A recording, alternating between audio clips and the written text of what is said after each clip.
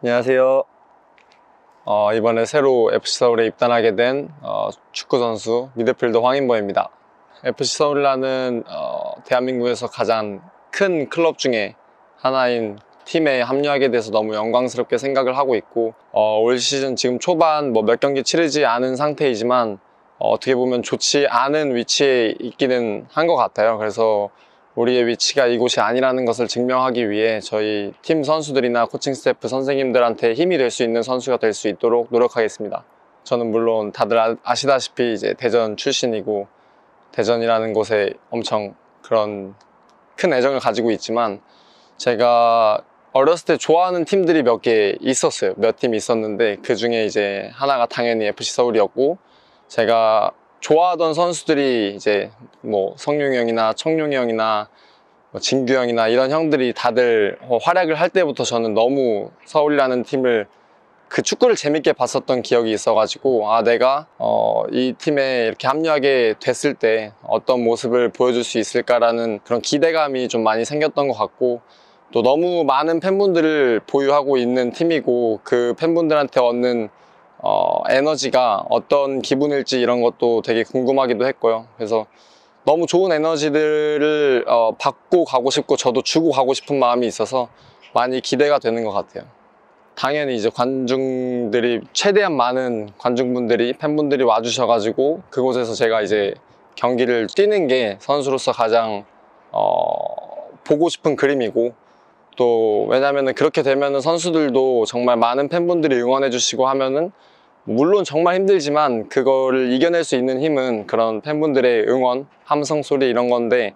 뭐 지금은 코로나 때문에 육성 응원이 되지는 않지만 어, 나중에 또 조만간 풀리는 날이 혹시라도 온다면 그 에너지를 받아서 경기에 이제 제가 옮겨보고 싶어요. 그게 가장 제가 그리는 큰 목표이자 그림인 것 같아요. 서울이 홈 경기를 그래서 가장 늦게 한 팀 중에 하나잖아요. 뭐 상호나 이런 대표팀 선수들도 경기를 했었고 이란전을 그래서 많은 얘기들을 들었었는데 잔디가 너무 좋아졌다라는 얘기들을 많이 들었어요. 그래서 저도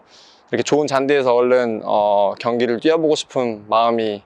가장 크고 어, 일단은 가장 중요한 건 성룡이 형이 이제 잔디 때문에 화나시는 일이 없는 없을 것 같아서 그게 가장 다행인 것 같아요. 지금 뭐 제가 너무 특수한 상황에서 이렇게 팀을 어, 합류하게 됐는데 어, 여러 가지 상황을 고려해봤고 또 가장 중요한 거는 이제 FC 서울이라는 팀에서 저한테 보여줬던 어, 진심 그런 관심들이 그 어떤 클럽들보다도 가장 어, 제 마음을 움직일 수 있게 해줬던 것 같아요. 그래서 그 부분에 대해서 굉장히 감사하고 너무 감사하다는 말씀을 꼭 어, 드리고 싶고요. 뭐 일단 가장 또 선수로서 가장 중요한 거는 아무리 어, 저한테 큰 관심을 주고 진심을 보여주더라도 어, 선수가 생각했을 때 이 팀은 나랑 맞지 않다라고 생각을 하면 솔직히 선택할 일이 없다라고 생각을 하는데 어, 제가 많은 고민을 해본 결과 어, FC 서울이라는 팀이 어, 하는 축구가 굉장히 제가 하는 축구와 비슷할 것 같, 같았고 또 너무 좋은 선수들이 지금 현재 대표팀을 하고 있는 선수들도 마찬가지고 또 어린 선수들도 굉장히 재능 있는 선수들이 많이 있는 걸 제가 K리그를 보면서 봤었고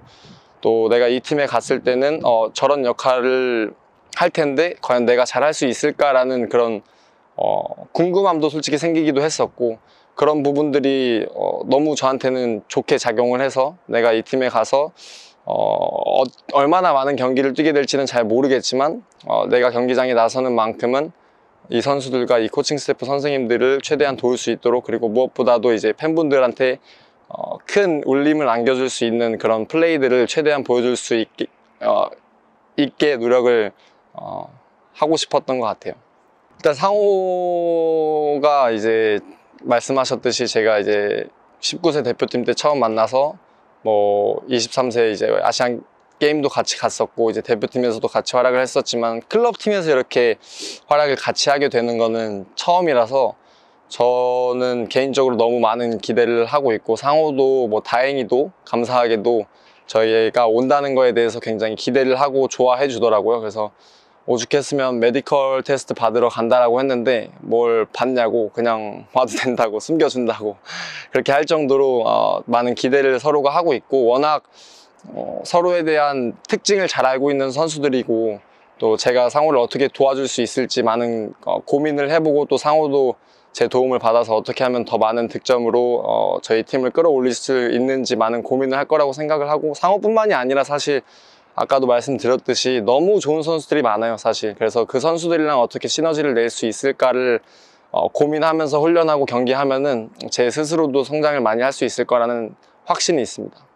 제가 경기장에 나서게 될 시기가 뭐 4월 말이나 5월 초가 될 것 같은데 몇 경기를 나설지는 저도 잘 모르겠지만 어, 제가 뛰는 모든 경기에서 적어도 무기력한 경기를 보여드리고 싶지는 않고 어, 뭐 지고 있든 비기고 있든 이기고 있든 항상 똑같은 자세로 팬분들을 위해서 이제 최대한 지고 있으면 비기려고 비기고 있으면 이기려고 또 이기고 있으면 어떻게든 더 큰 점수 차로 이길 수 있는 그런 경기력을 최대한 더 보여드리고 싶고 그렇게 하기 위해 노력을 할 것이고 뭐 개인적인 목표는 사실 딱히 크게 없는 것 같아요. 이 팀을 위해서 어떻게 하면은 내가 더 도움이 될 수 있을까 라는 생각만 잘 하고 좋은 축구를 배워 간다면 저는 어, 충분하다고 생각합니다. 어... 한 단어요? 어... 뭐 FC 서울 선수라고 표현을 해야겠죠. 제가 어떤 특수한 환경에서 이렇게 왔다고 하더라도 저는 FC 서울 유니폼을 지금 보시는 것처럼 입고 있고